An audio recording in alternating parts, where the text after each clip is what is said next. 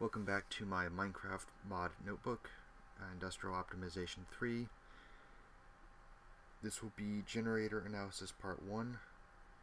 The date is currently the 3rd of December 2013.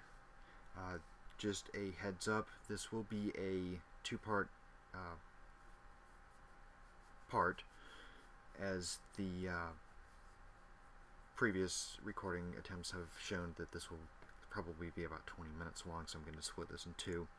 So anyway, on to some analysis. Uh, the first question that we need to ask is, what makes a good generator? Uh, you're going to want a good power to cost ratio. So that means you don't want to have a generator that's going to cost blocks of diamond to make if it's only going to be outputting a trivial amount of power. Uh, ideally, you're not going to want a multi-block structure. I've covered multi-block structures and why they aren't necessarily the best idea uh, in previous uh, chapters. Uh, you're also going to want a high fuel life, so uh, ideally when you toss some sort of fuel in there, it's going to last a while. Uh, ideally, though, uh, and probably optimally, you're not going to want to have to have a fuel supply at all. solar power, hydropower, that sort of thing would be best. Uh, if you do have a fuel use, uh, you want to have a smart fuel use. That means that you're only going to be using fuel uh, when you're producing power. And you're going to want to have power produced in uh, usable quantities. So this will be focusing on the uh, Industrial Craft 2 uh, generators for the base game, and part 2 will be focusing on the any sort of add-on generators. So, uh, the basic format, you've got the generator name, uh, pros and cons, uh, the base generator, of course, you're going to need it for everything else, so cost really isn't an issue. Uh, the usability, this can be used anywhere, uh, underground, not an issue at all.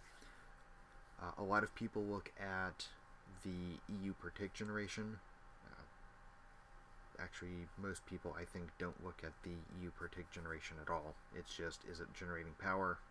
Uh, if it's not generating enough power, add a couple more on, it'll be fine. Uh, I have actually gone through all of the generators and looked at the uh, EU per block generation as the kind of deciding factor as what I'm using. Uh, this does use fuel and the to uh, 4000 U output is over 20 seconds, so a little bit of math there. Uh, realistically, it's probably not a bad generator. Uh, in fact, if anything, it's, to be honest, significantly overpowered compared to the other options. Uh, the downside, of course, you're probably going to need quite a few of them. Ironically, once we get into some other options, you're going to need more of the other options than you're going to need of these generators. Um, the probably worst downside is that is it is a low tier generator and it has the dumb fuel use. So if you need a single uh, single EU, it's going to go ahead and burn an entire piece of fuel.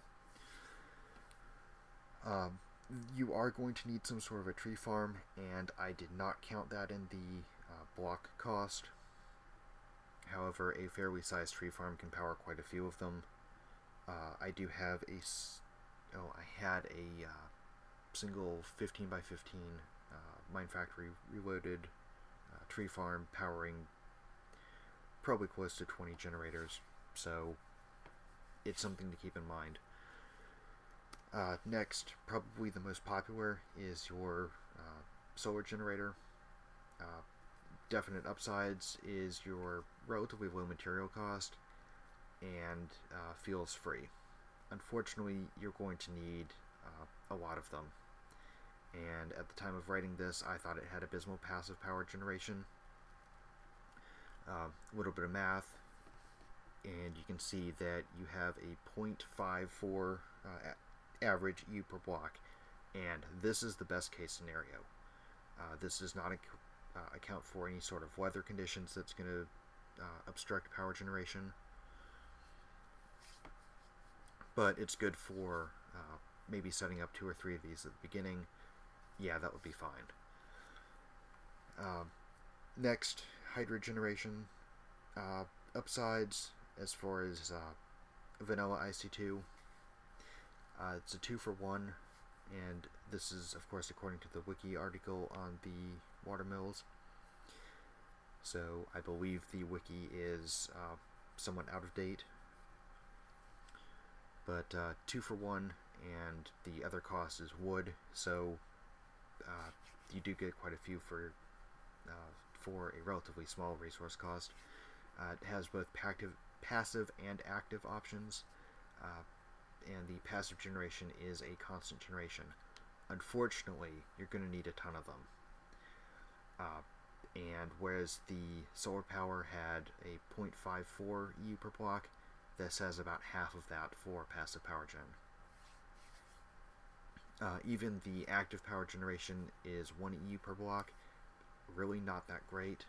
Uh, almost be better off just using the uh, the default generators. Uh, the wind generators, another relatively uh, common option, although I don't think very many people use them.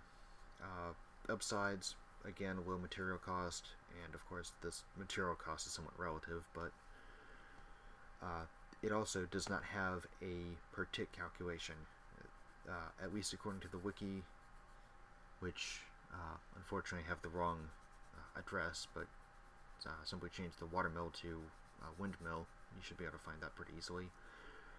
The calculations are done once every uh, 128 ticks or about six and a half seconds. So it calculates it once, runs it for uh, the next 128 ticks at that output, and then checks again. So it's not going to be spamming the the server with, uh, "Hey, I need to figure out what the weather is again." Uh, update requests, uh, and of course, it doesn't use any fuel. Uh, the downsides is that you're going to need to place them uh, pretty much as high as possible. Uh, that's going to add a rather significant wire cost, and again, the wire cost is something that should be avoided when possible. Uh, the weather, the wind generators don't have an automatic cutoff, and bad weather can cause them to break. Again, issues. Uh, the calculation for figuring out what the weather is and what elevation am I at can get sort of complex. Uh, and by complex, I'm not referring to uh, incredibly complex, but more than just the do I have power? If not, burn fuel. If I have power, output power sort of calculation. Um, it does have a, a significantly better uh, EU per block. Uh, 4.6 is a very safe value that you can get uh, any higher and you start to get a chance of breaking. So at last we come to the thermal gen. This is also the first generator that's better than the default.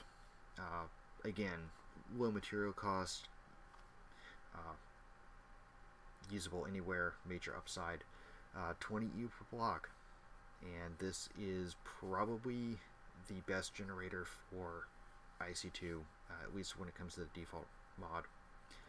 And when I say the best generator for the default game, I'm not inviting the mod devs to come in and say, OMG, overpowered, let's nerf this a bunch. I'm saying that from an EU per block standpoint, this is a good generator. Uh, additional upside, it does have the smart fuel usage. Pretty much the only downside that I could come up with is that it runs off of lava, which is somewhat limited. Uh, the nuclear reactor, which has recently been uh, pretty significantly revamped uh, for IC2, and I will be doing a separate video on this entirely, as once again, there's, well, saying that there's no documentation would probably be overstating things, or understating things, rather. Um, pros, uh, again, usable anywhere.